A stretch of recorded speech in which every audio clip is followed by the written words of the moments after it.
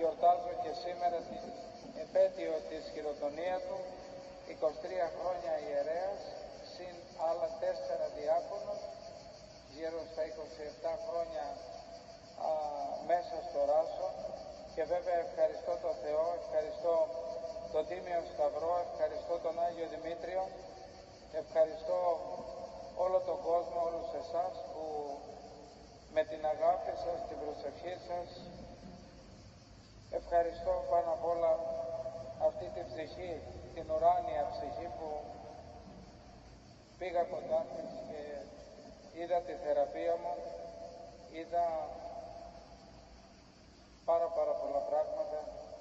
αυτή την ουράνια ψυχή, την αγαπημένη μου γερόντισσα, την αγαπημένη μου θεία, όπου με αξίωσε Θεός να έχω την σωματική μου μητέρα, αλλά και την πνευματική μου μητέρα, με αξίωσε ο Θεός να φτάσω μέχρι και σήμερα και να εορτάζουμε την Αγία ημέρα αυτή, τον Άγιο Εμιλιανό, αλλά και τον Άγιο Δημήτριο, το θερμό μου προστάτη, που πραγματικά η παρουσία του εκείνη την ημέρα του Αγίου Δημητρίου ήταν πολύ έντονη και δεν το λέγω εγώ, αλλά το λένε οι άνθρωποι, οι χιλιάδες των χιλιάδων ανθρώπων, οι οποίοι βρέθηκαν εκείνη την, εκείνη την ημέρα, Κυριακή 18 Ιουλίου 1999, που βρέθηκαν εκείνη την ημέρα στην χειροτονία μου. Θυμάμαι μόνο, όπως θυμήθηκα εδώ στην Αγία Τράπεζα την ώρα που λειτουργούσα, θυμάμαι που έκαιγε όλο μου το κεφάλι και όλο μου το σώμα και έκαιγε η Αγία Τράπεζα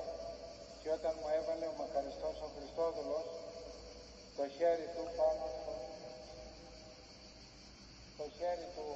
πάνω στο κεφάλι μου εκείνη την ώρα έβλεπα την Αγία Τράπεζα να καίγεται αλλά να, να, καίγεται, αλλά να μην καίγεται. Ήταν το κλάμα μου ατελείωτο και κάποια στιγμή θυμάμαι που όταν με δίνανε